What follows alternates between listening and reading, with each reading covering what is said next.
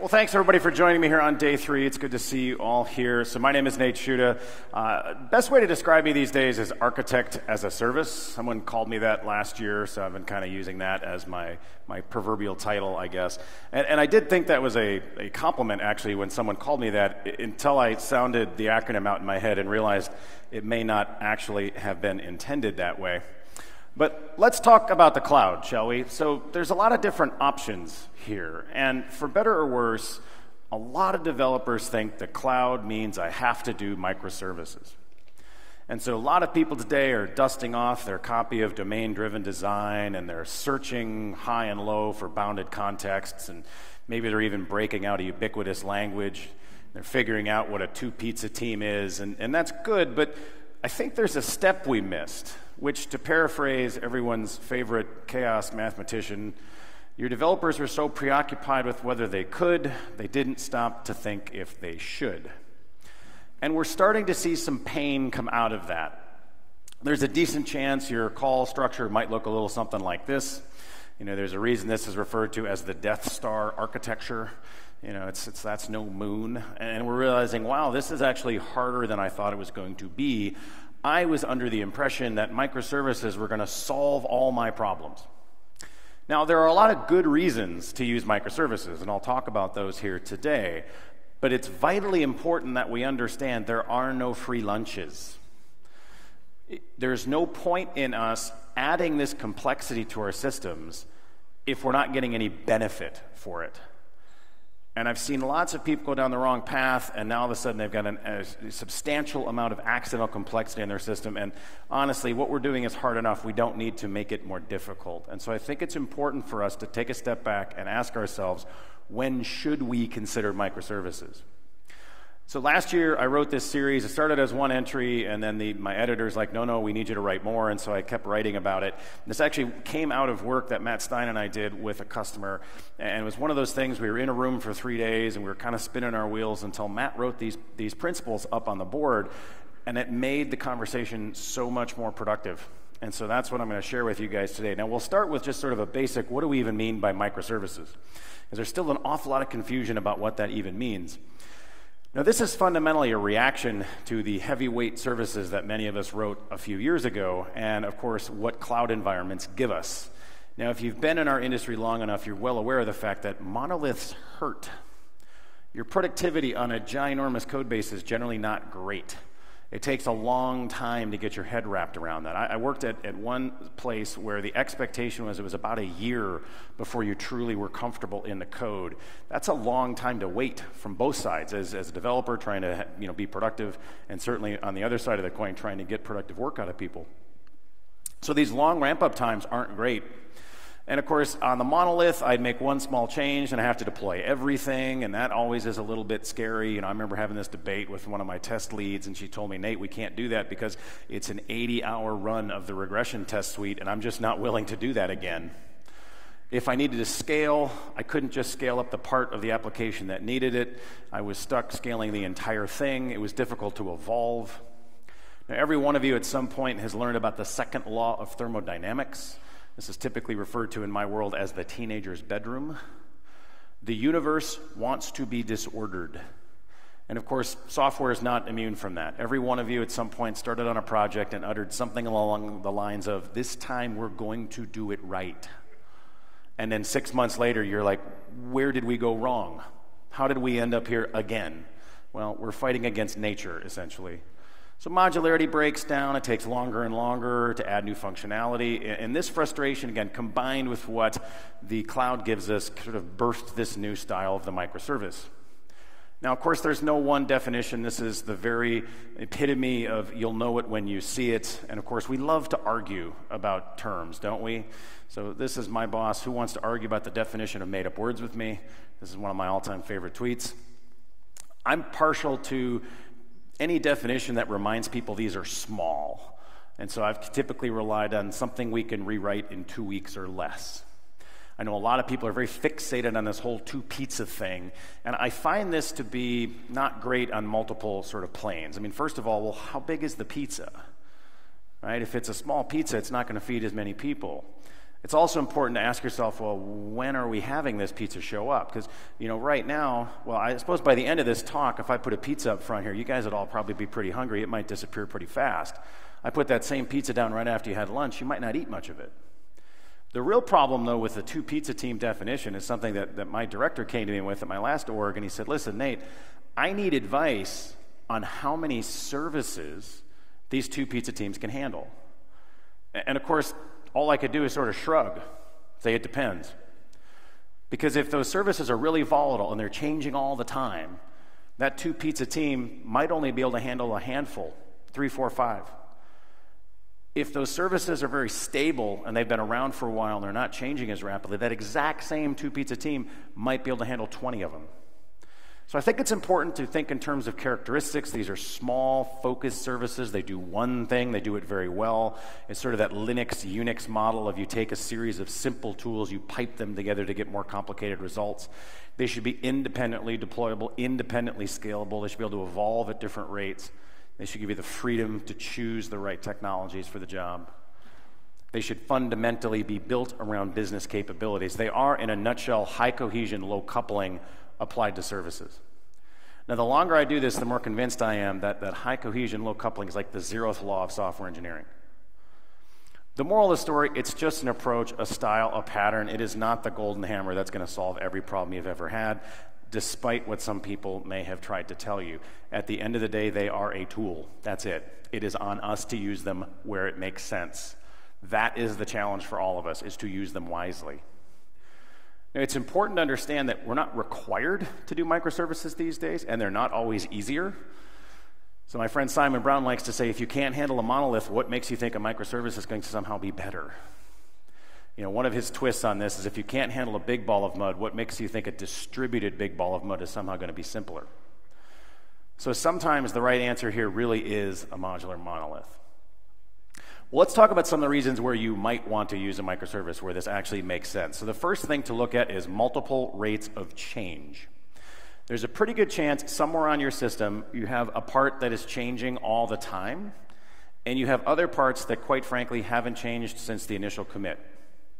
So, when you find yourself in a situation where some part of the system is evolving at a rapidly different pace than something else, this is a pretty decent reason to use a microservice.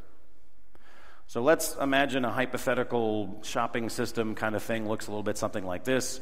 You know, we've got the typical things you would find in, in sort of a retail uh, operation, a recommendation engine, search, inventory. Pretty good chance your cart hasn't changed a lot. You add items, you remove items, you change the quantity of items. The inventory system, you might not have any choice here. It might plug into some 20 year old you know, warehouse system that you have no control over. But I've yet to see anybody say recommendations are good enough and, you know, search is just too good. Everybody always is trying to improve this. So in a traditional monolith, we're kind of stuck. Everything has to evolve at the same rate. And this is fundamentally why we've had this quarterly release in our past, because it made sense to wait until all the changes were done. And we got to push the whole thing anyway, so you might as well just batch those up. Now, I always thought that was kind of ironic because You've all, at some point in your career, probably been locked in a windowless conference room that has had some term like war room associated with it because, ooh, we had a big bang, you know, integration this weekend and it went poorly. Who could have possibly predicted this? And we, you know, only put 1,500 changes in. So let's try to figure out what was the cause of the break. If I put in one change and it broke, that's really easy to figure out what change caused the problem. Now, of course, today we actually have options. I can split the system up, and so I can iterate parts of the system more rapidly than others. So I might take that widget IO system, I might break it apart, and I might say, you know what, the recommendation engine, we're going to make that a microservice. We're going to make search its own microservice so they can evolve at a different rate than the rest of the system. And now I can turn around changes more rapidly. I can deliver business value more quickly. Now, the next question, of course, is how do I know which components need that? Well, let's be honest, you probably have a sense of this in your own systems. So trust your gut instincts. But let's remember, data can be really helpful. So we can start with something simple. You can start with source code management. You know, you're probably using Git. You might be using Git. There's a chance you're using Git. I, I just saw a tweet this morning that said, face it, if you've used Subversion, and I can't remember the other tool, another source code management tool, you're old. And I thought, oh, well, I guess, you know, that's how it works in this industry, right? But I can take my source code management tool and I can essentially get a heat map out of it that can give me a sense of what's changing a lot. So, you know, again, if I'm using Git, I can throw a command kind of like this at it and I can sort of get some interesting data. And I ran this against Spring a while ago, which is not, you know, a, a monolith, but it, it makes for a good teaching example. And not surprisingly, there's certain things that are changing all the time. And some of that makes sense. You look at it, well, the change log changes a lot. Shocking. You know, but then you start looking and you're like, I wonder what these other files, what's happening there? You know, and, and, and I'm not an expert on the nitty gritty of Spring, so you know, I don't know necessarily how to interpret this, but it at least gives you a place to start. And now we can sort of roll up our sleeves and we can practice a little software archaeology. A lot of times that's what we're doing. Have you ever been digging through some code and you're looking at it and, and you're thinking to yourself, you know, like, what idiot wrote this? And then it occurs to you that it was you from like six months ago? You're like, oops. So we need to dig around a little bit and, and, to paraphrase Isaac Newton, look for some smoother pebbles and some prettier shells, or what Michael Feathers calls churn. Now, Michael wrote this around refactoring. Where should we find things to refactor? And so, inevitably, on almost every project, you're going to find this sort of long tail distribution. You've got some files that are updated all the time, and then it sort of tails off to things that probably haven't been touched since that initial commit. Now, Chad Fowler took this same idea and said, you know what, I can create a tool called Turbulence that's based on churn versus complexity. You can also look at basic code forensic tools. So I have not used this in anger, but I, I was doing a little searching and found this and thought it was kind of interesting. And, and you get a view into your code. And so you start to get a sense of, you know, how many lines do we have? How long has it been since something was touched? And, and, it really breaks down into the individual modules quite nicely to tell you where there might be certain hotspots and so you can start to look at some of these and you start to get some interesting data. We can look at trends over time. We can see that, all right, so this is a pretty small file 810, 811 lines. That seems about right. We do have one person who's done an awful lot of the work here. There's been a decent number of bug fixes in here, and clearly it gets modified a lot. We get kind of this rough complexity trend. Things are getting better over time. Clearly, a couple interesting little spikes in there. That might be sort of an interesting historical thing to look at. We can look at something as basic as cyclomatic complexity. There's a couple numbers there that would worry me. You know, 44 gets my attention. The worst cyclomatic complexity I've ever seen in code that, that I had to touch was 82. I still to this day cannot understand how someone sat down and wrote something that was that hard to get your head wrapped around, but they did. So we can also see trend lines. Trend lines are actually one of the most useful things for us to look at. Are we getting better or worse over time? You know, the raw number might not be nearly as interesting as what our trend looks like.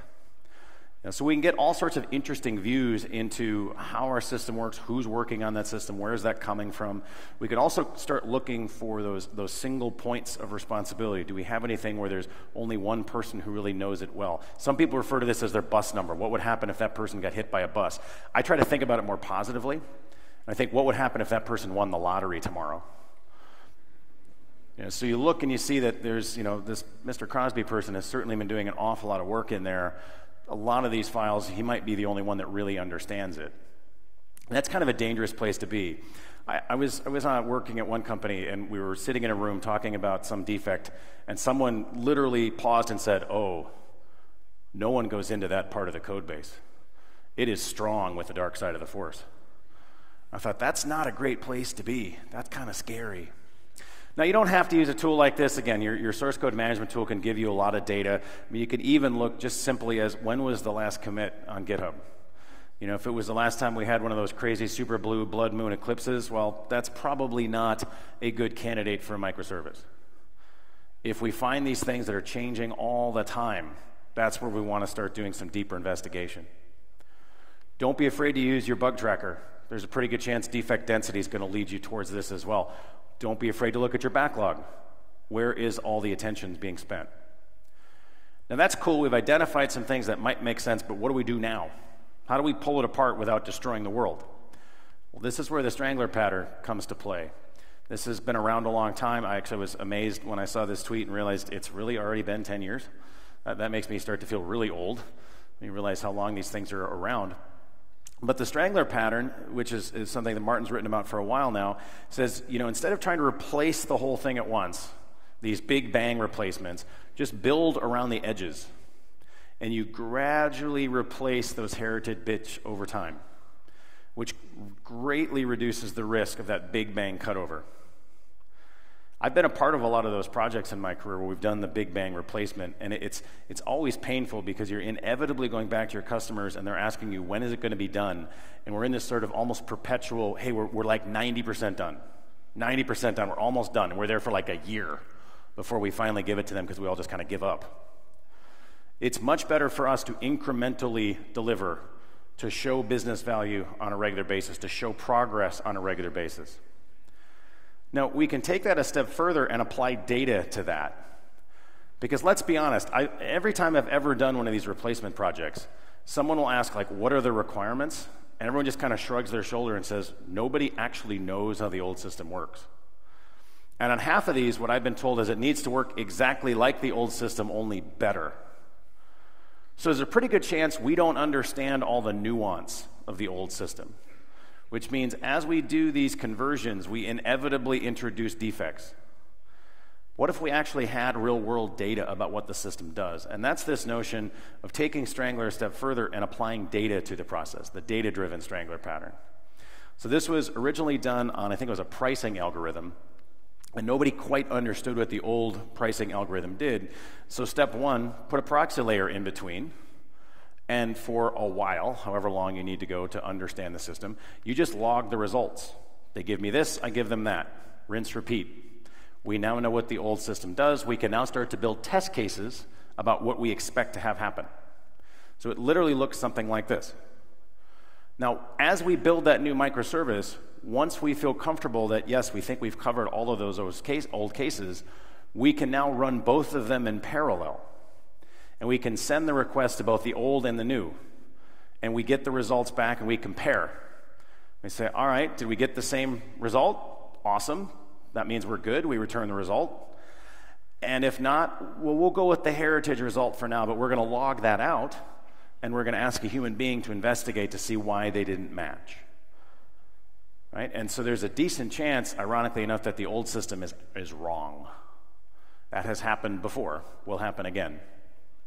So, this is one of the most important reasons to consider using microservices. We also want to consider independent life cycles. Monoliths are big ships. They do not turn on a dime. I spent a lot of my career in big enterprise companies where I've heard this repeated phrasing of, you know, Nate, we don't turn quickly. We're a big ship. It takes us a long time to turn. And my response to that's always been, then we should probably start turning now, right? And there's no point waiting a year and then deciding to turn. We just don't have that luxury today. Today, we have to always be changing. We have to run experiments. We have to do A B tests. We have to be much more responsive to the changes that are happening in our business environment. I have to deliver in days, not months.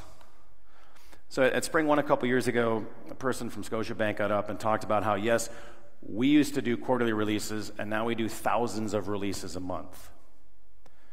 Now, that didn't happen overnight. That takes time, that takes years, that takes a lot of discipline, a lot of engineering change, a lot of culture change. And what was really interesting to me is, is I had some friends that, uh, that were at the company I used to work at were there, and we were talking about this one day, and they said, Nate, you know we can't ever do this. There's no way. And my response was, Yeah, you can. If a nearly 100 year old bank can make these changes, so can you.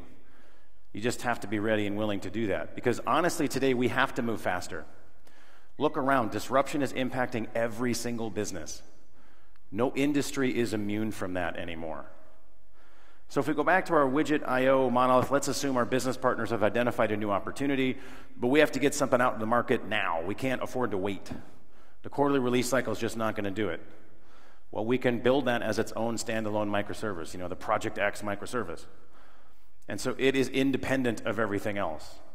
It can have its own repository, it can have its own build pipeline, it can have a completely independent lifecycle.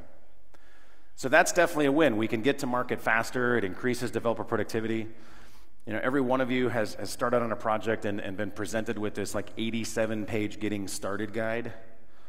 And ironically enough, there's always like a manual step where it's like you have to go talk to Kathy now and then Kathy will finish setting up your IDE for you because there's some weird thing. I was actually baked into somebody's getting started guide for like three years. I had started on the project and then I had left it. And once I left, I didn't have rights to change anything on the project anymore, so I didn't get a chance to like remove my name. And so I kept getting these random calls Be like, hey, yeah, I'm on like step 15 and it says I'm supposed to call you.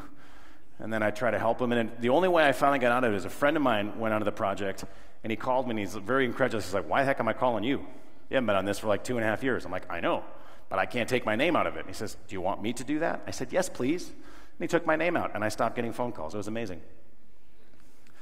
I've seen projects where the build time was almost measured by phases of the moon. It's like, yep, it's going to take 24 hours if we're lucky. I've seen instances where getting up to speed was a month, months long process. And we have to think about that. The, the long stretch here to being productive is not good for any of us. If I have a smaller scope, much easier to get my head wrapped around that. Smaller scope, my builds are going to be fast. When we break the build, we fix it quickly.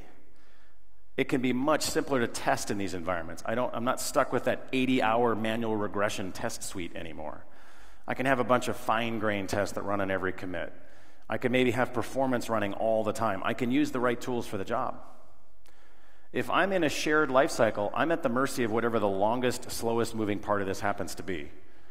I'm not stuck in a one size fits all approach anymore. Every microservice can use the mix of tests that make sense for it. They can use the right linting rules. They can use the right code quality scans. It can make finding fitness functions much, much simpler. I can actually practice hypothesis driven development. Predicting for the future is impossible. This is one of my favorite quotes. Prediction is very difficult, especially if it's about the future. And yet, every one of us has engaged in this. Every one of us has been in the project room, and we've had this debate over something. If we do it this way, it will clearly increase sales or increase conversions or increase signups or whatever metric we care about. But how, how do you know? You don't. I mean, you're just trusting your gut instinct. And of course, we have to ask ourselves what happens if we're wrong? If we were in the monolith, we by definition had to be very conservative because if we were wrong about something, we basically had to wait another three months to fix it. So we couldn't do these experiments very easily. Well, we can now. We can actually do A B testing. For so many years, this was really just the purview of giant technology companies. It was beyond the reach of most of us. Now, te- uh, technology has made this so much simpler to spin up multiple instances. But we can finally practice hypothesis driven development. Instead of having this debate in the project room, we can actually say, all right, we think this change will result in this outcome. We will know we have succeeded when this metric changes. So we can say we think adding a distributed cache is going to result in faster startup times. We will know if that's the case if startup times are less than 15 seconds.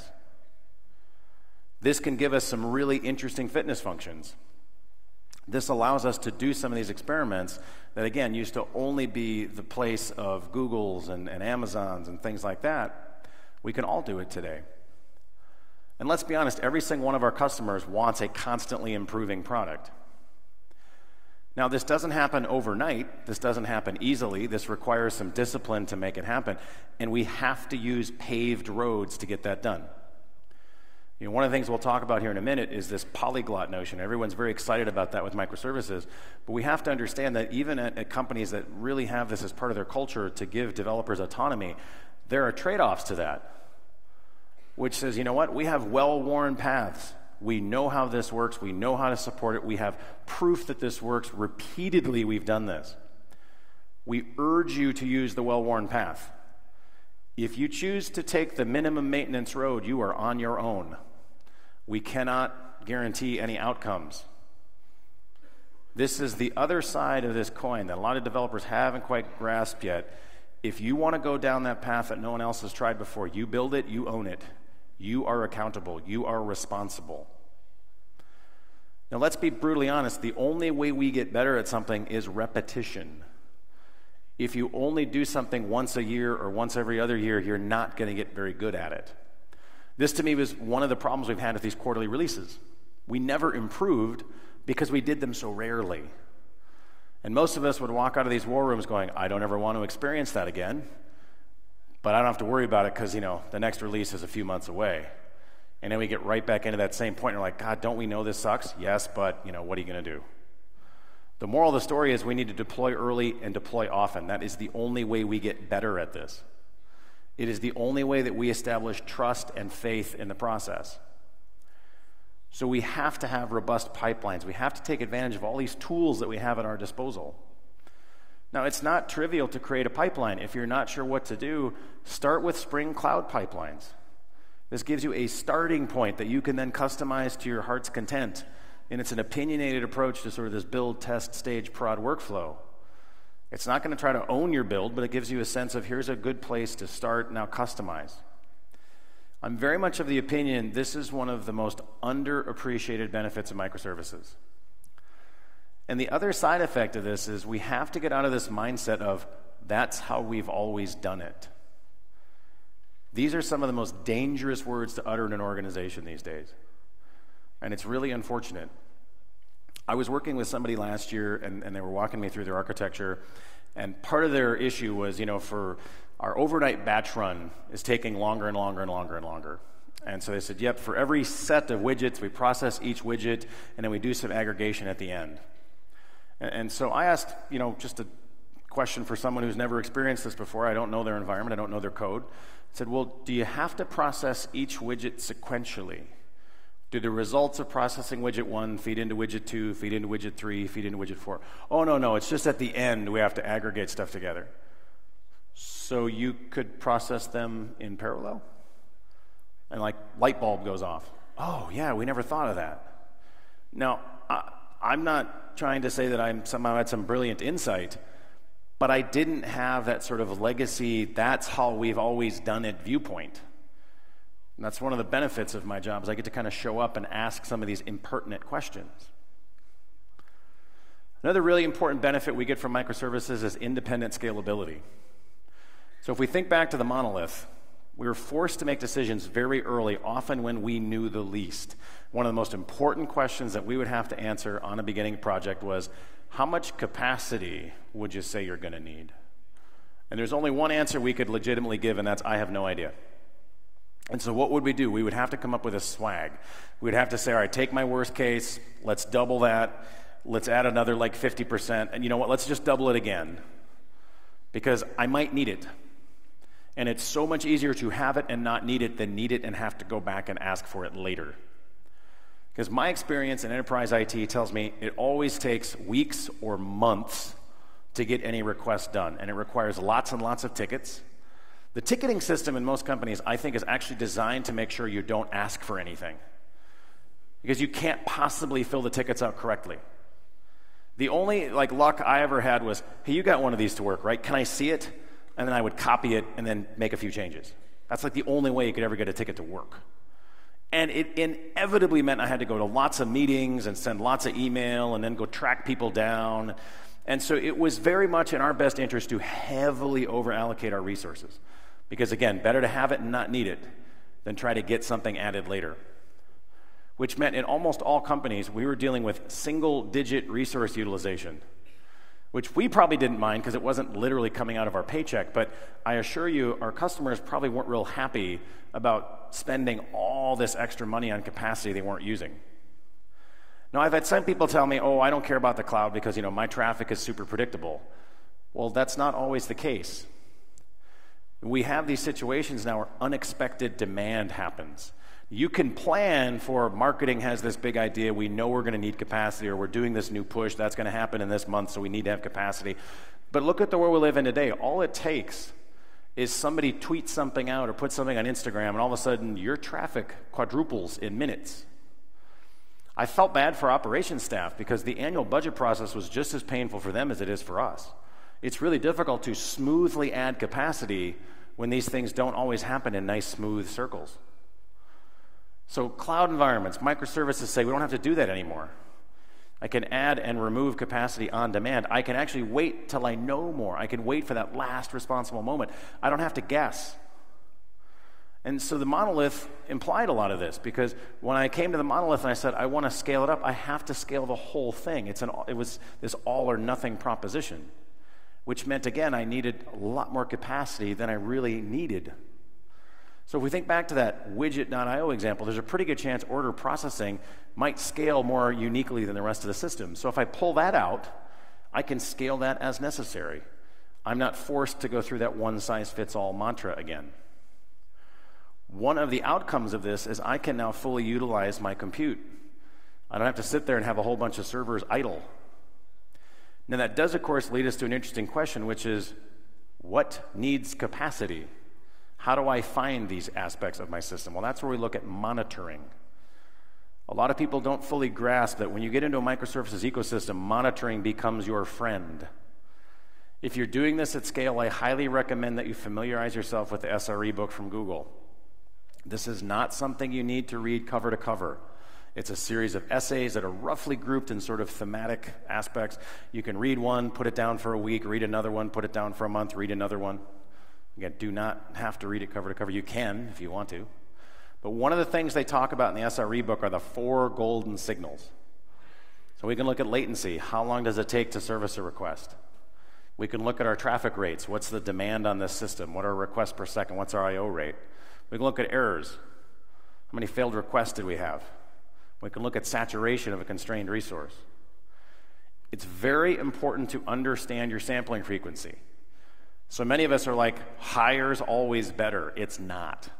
We might not be getting more meaningful data, and it might just be really expensive. So, in a lot of cases, aggregation is your friend. There's a ton of tools in this space. If you're doing Spring Boot, you can let Actuator tell you an awful lot about what's going on with your system. Don't be afraid to start there and just say, hey, what am I getting for free if I'm using Spring Boot? Now, I want to stress it takes some time to figure this out. This is not you know, obvious to all of us immediately. You know, you're going to have to play with your system for a bit to kind of figure some of these out. This is part of the reason why more and more companies are, are spinning up SRE groups. Be very, very cautious on metrics that are easy to measure, that may or may not be useful to you. The other part of this that can be really challenging is we have to have conversations with our business partners to understand what are the business drivers on this system. What could happen that would cause a big spike in demand, and how does that translate to the services that I've written? It's really, really important that we be realistic here. A lot of times our customers are overly optimistic. We're going to take over the world. We can't all be a third of internet traffic. I'm sorry, that's just not how it works. So be realistic. Again, independent scalability is a massive, massive win of microservices, assuming you need it. The next thing we can look at is failure isolation. So, one of the things that becomes very obvious when you get into a microservices biome is none of these are an island. They have to work together to accomplish something. And this is where you start to think, you know, about Obi-Wan. You know, you've taken your first step into a larger world. So, no service works alone. That should be obvious based on the name. Now, integrations have been around forever.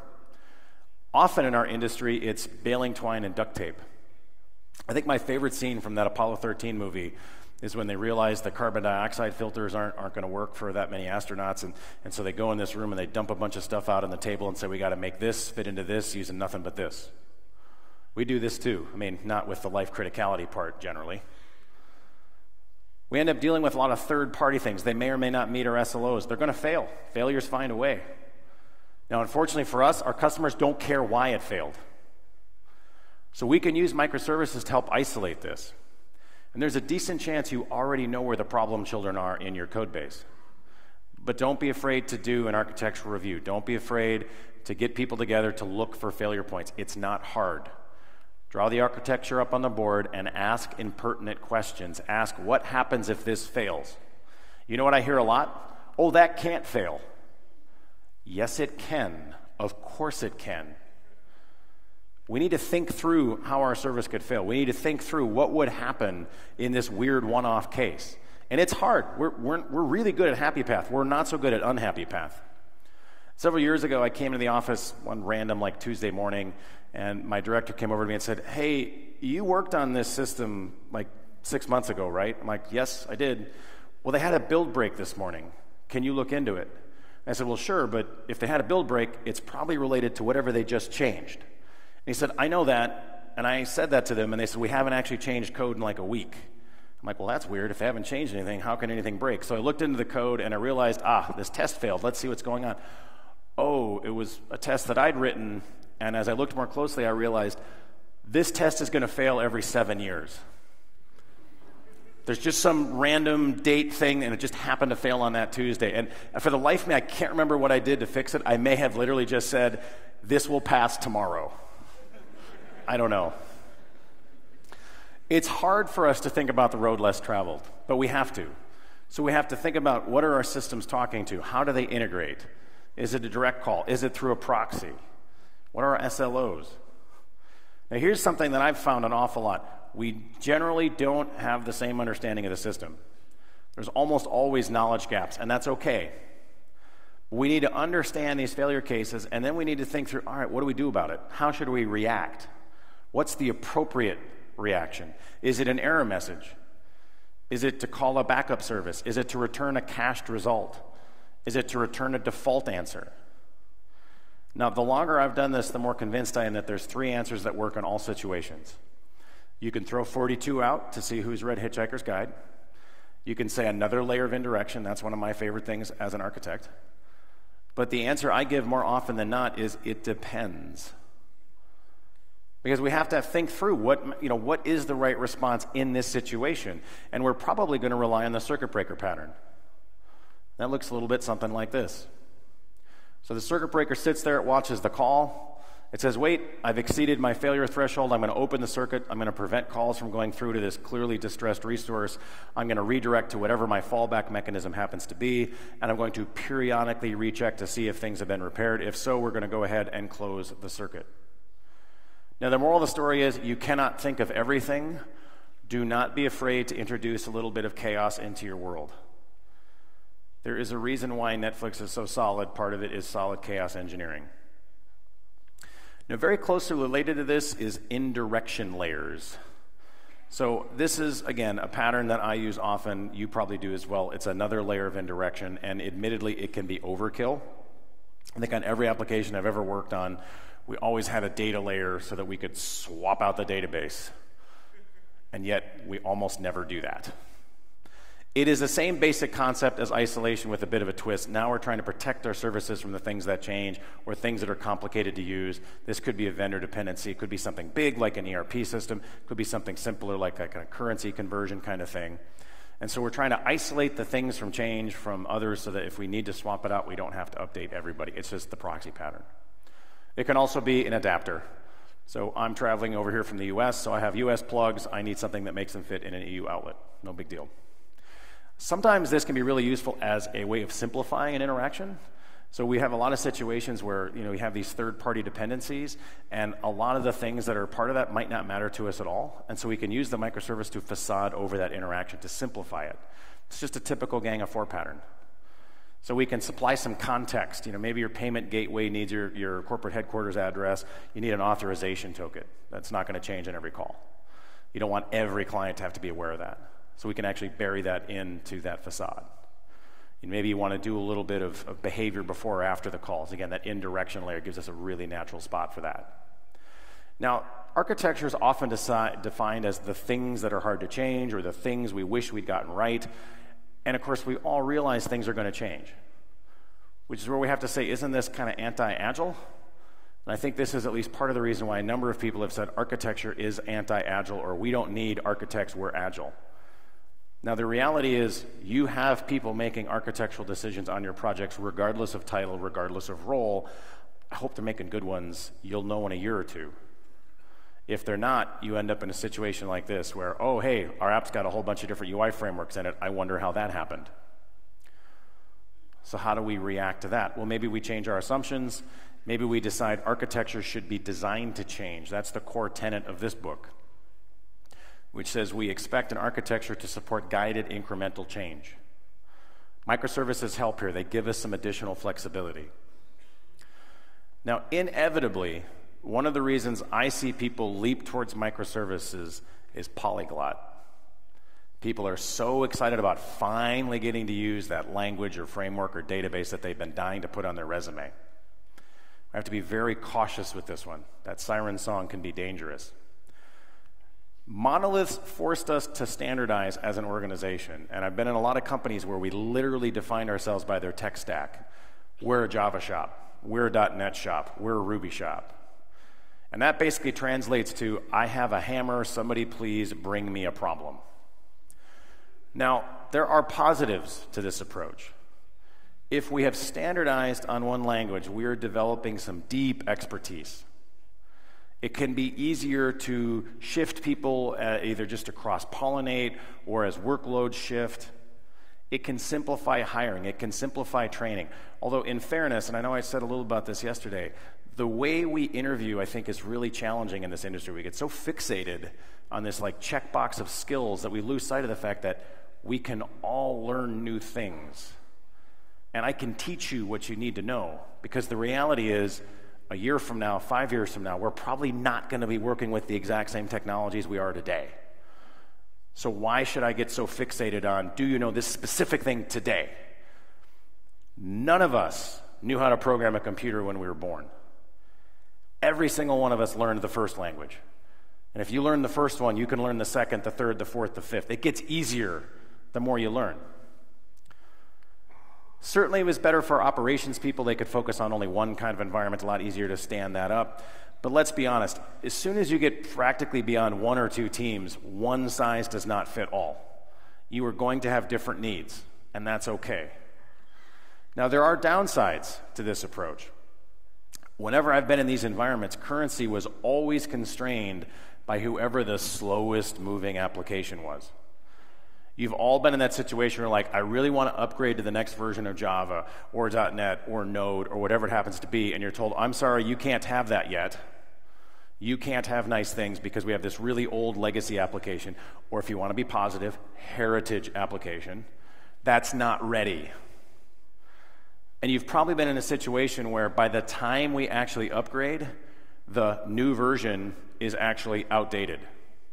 I was talking to somebody about this earlier this year, and they said this was a very classic pattern for them. Their infrastructure people would settle on, okay, this is what we're going to move to. And basically, by the time that got to like test or maint or pre prod or staging, whatever you call it, that version would already be end of life. It took so long to move things through their region. Now, I've yet to be in a company that's truly homogenous. We just do one thing and only one thing. All it takes is one merger, one acquisition, and boom, you've got a whole other tech stack to deal with. And believe me, there is no compelling reason to rewrite from one language to another short of this language is end of life. I've been involved in these debates. I had somebody try to convince me that, well, now that we're merging with a company that does .NET, we're going to rewrite all of the Java apps as .NET. Now think about how I'm supposed to pitch this to a customer. All right, so we're going to take your Java app that's been functioning just fine and we're going to rewrite it into, into C Sharp. Why is that? Because, okay, well, I'm going to get lots of new features, right? Actually, no, we're going to have to really constrain scope just to get this done in any reasonable amount of time. Okay, but it's going to be done quickly, right? You guys can do this in a few weeks, maybe a couple months. No, it's probably going to take us, you know, 18 months, two years. Oh, well, there'll be fewer defects, right? No, actually, we're probably going to put a whole bunch of new ones in there because we don't really understand how the old system works. Great, get out of my office, don't ever come back. You know, I can't make that pitch nor should I. It's not reasonable. Now, one thing that's changed is these cloud environments have actually removed that constraint. I don't, I'm not stuck in this model of that's what my operations people know how to support. I actually can easily spin up different stacks. So, this notion of polyglot isn't just a pipe dream anymore. But I have to stress these are just tools. That's it. The challenge for us is knowing when to apply that tool. When is the right time to reach for a sledgehammer?